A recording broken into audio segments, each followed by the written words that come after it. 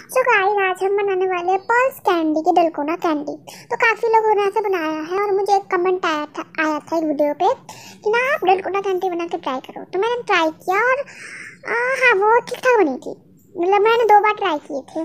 तो आज हम पर्ल्स कैंडी की बनाने वाले हैं और ये मेल्ट हो गई थी अच्छे से ठीक है?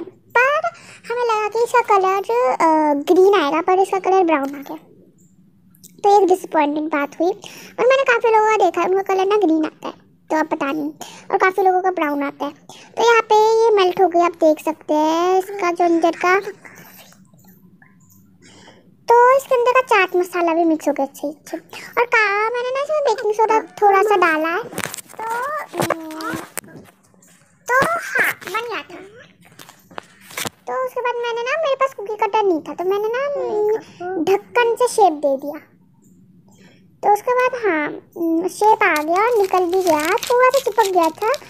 पेपर तो था पेपर आप देख लीजिए थोड़ा सा चिपक गया था। पर हाँ हो गया। तो ये ना मतलब ये भी निकलता नहीं है पत्थर पेपर तो क्यों भाई निकल जा। मतलब काफ़ी बार चिपक जाते हैं और आप देखो पीछे चिपक गया। तो ना मैंने ट्रिक देखी थी उसमें क्या करते हैं हम थोड़ा पानी देकर हटा देते तो मैंने भी हटा दिया। और अब मैंने तोड़ा तो उसको गेम गेम भी हम जीत कर कड़वा था थोड़ा सा, खट्टा मीठा था। Like and subscribe